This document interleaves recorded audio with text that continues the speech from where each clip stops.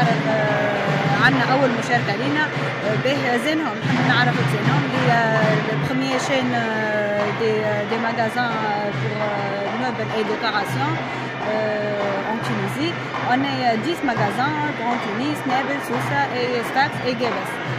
Alors إحنا منتوجنا 100% تونسي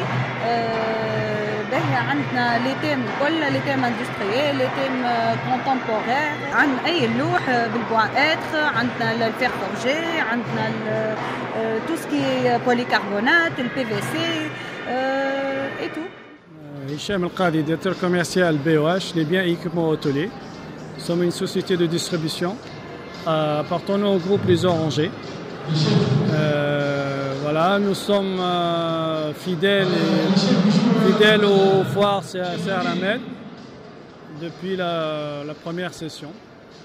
Voilà, euh, la BOH euh, aujourd'hui, il fournit aux professionnels de l'hôtellerie, de restauration de thé, toutes sortes d'équipements.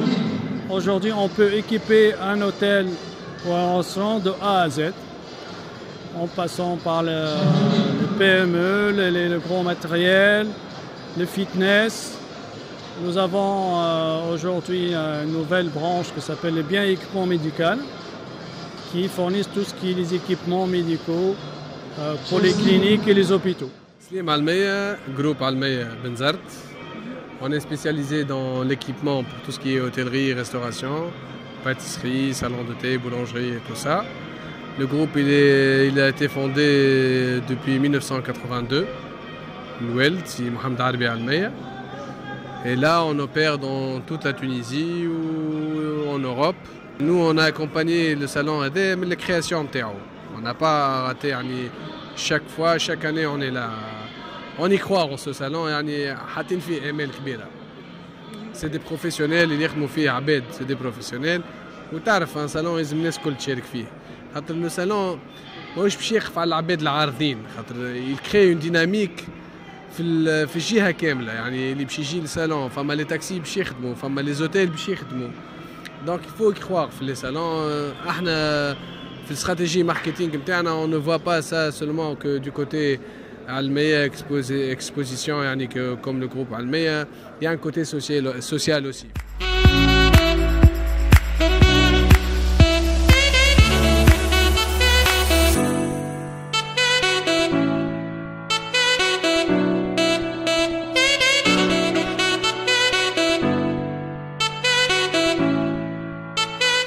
aussi ديما المعرض الساحل.